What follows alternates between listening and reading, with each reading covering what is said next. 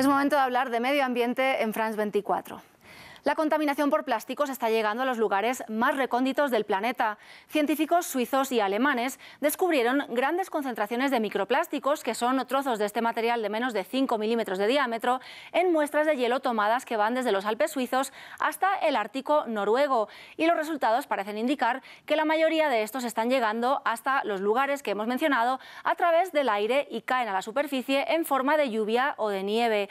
El estudio publicado el 14 de agosto corrobora los resultados obtenidos por una investigación de estadounidenses del proyecto Pasaje del Noroeste en el Ártico canadiense, donde también encontraron en el hielo restos de este material descompuesto en pequeñas partículas o filamentos.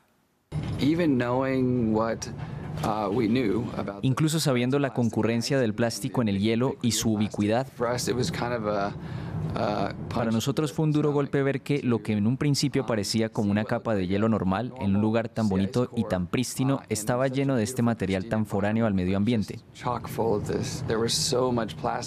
Había tanto plástico que se podían ver todos los filamentos y fibras sin ayuda de un microscopio. Los científicos, a raíz de estos resultados, creen necesario que se investiguen los efectos que los microplásticos puedan tener sobre la salud humana y cuántos estamos inhalando si estos sí son transportados por el aire, como parecen indicar los estudios. Y seguimos hablando de hielo, o más bien de su desaparición. Islandia celebró el funeral el 18 de agosto del glaciar Ok.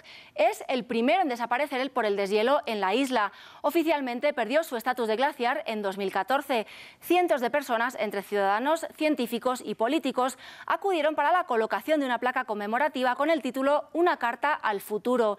En ella los islandeses dejan constancia de que son conscientes y de que también saben qué hay que hacer para luchar contra el calentamiento global y el cambio climático, pero dicen solo serán sus descendientes los que sabrán si ganamos la batalla.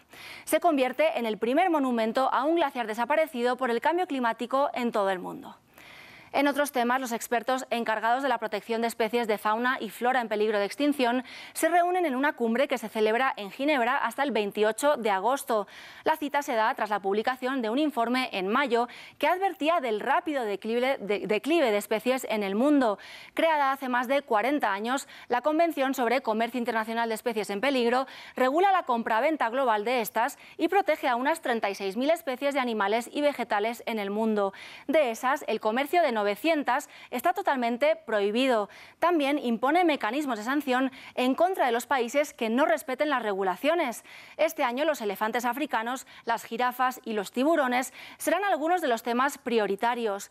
Estos últimos están desapareciendo a gran velocidad, cazados sobre todo por sus aletas. Incluso si no se pescaran más tiburones en el Atlántico Norte a partir de hoy, si no se mataran más tiburones, los científicos estiman que la población no se recuperaría sino hasta el año 2070, ni siquiera a un nivel en el que la pesca se aconsejara de nuevo. Es aterrador. Uno de los puntos de debate será el contrabando y la caza ilegal de especies protegidas. La secretaria general del organismo quiere que el tráfico de animales y plantas sea castigado con penas similares a las impuestas para la trata de personas o el narcotráfico. Más de 3.000 expertos de 183 Estados miembros decidirán durante esta cumbre que se da cada tres años el nivel de protección que tendrán cientos de especies en el mundo. Para ONU Medio Ambiente, esta convención ha sido clave para el cuidado de la biodiversidad. Tenemos que encontrar el equilibrio entre personas y naturaleza, y la convención es una influencia positiva cada vez más fuerte. Al fin y al cabo, se trata de un balance entre la necesidad de proteger de la extinción a especies de plantas y animales y la necesidad de las naciones de usar estos recursos para el comercio, para el crecimiento y para el desarrollo. Y funciona, realmente funciona. El comercio regulado y sostenible funciona. Y finalizamos hablando del viaje que inició Greta Thunberg hasta Nueva York. La joven activista sueca que dejó de viajar en avión por las altas emisiones de CO2 de este método de transporte zarpó el 14 de agosto desde Plymouth, en Reino Unido, en una travesía que durará dos semanas. Lo peculiar de este trayecto es que se está llevando a cabo en un velero cero emisiones. El Malizia 2, de 18 metros de eslora, está equipado con paneles solares e hidrogeneradores que proveerán de electricidad al barco durante su recorrido hasta la Gran Manzana. El motor se mantendrá apagado en todo momento, salvo que se dé alguna emergencia a bordo.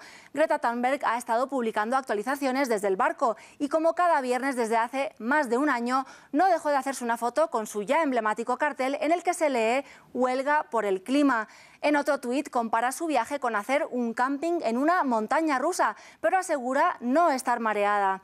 El objetivo de Greta es asistir a la cumbre sobre cambio climático de Naciones Unidas en Nueva York, que se celebra en septiembre y donde tienen, tienen además planeado organizar la mayor huelga global por el planeta.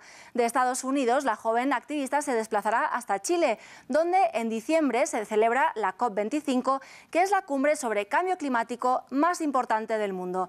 Gracias por acompañarnos en Medio Ambiente de France 24. Hay más en france24.com.